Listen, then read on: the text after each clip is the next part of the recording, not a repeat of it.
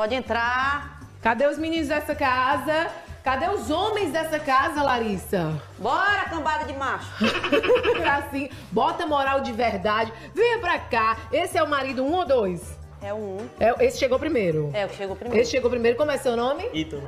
Ítalo. E o que chegou depois? João. É um bebê, minha gente. Vem pra cá, João. Vem pra esse lado aqui. Vem pra esse lado. Isso começou quando? Divide com a gente. Conta pra gente sobre essa, né? Porque de fato é, um, é muito curioso. Uma mulher que tem Começou- dois maridos. Ano passado, Ah.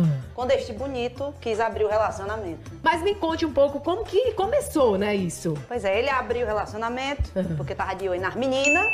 E eu achei que era pra nós se divertir. Tipo, vamos pra uma festa, Sim. se interessamos por alguém, vamos ficar com alguém lá, né? Mas não, eu descobri que é porque já tava de olho nas meninas da academia. Hum, a gente entrou num acordo. Foi amor. Então vamos ficar os dois, é. Foi amor mesmo. Foi amor mesmo. Não. Sempre gostei dela desde novo também. Em nenhum momento você chegou pra Larissa e falou: não, você tem que terminar com o cara pra poder ficar comigo. Já, já cheguei, já tive esse pensamento. Só que ela deixou bem claro que isso não ia acontecer. E como eu queria ficar com ela de todo jeito, eu aceitei. E pra assumir pra família, pros amigos.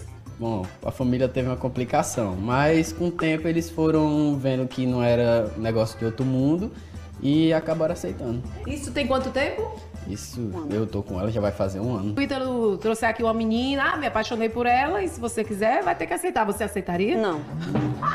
Sou egoísta.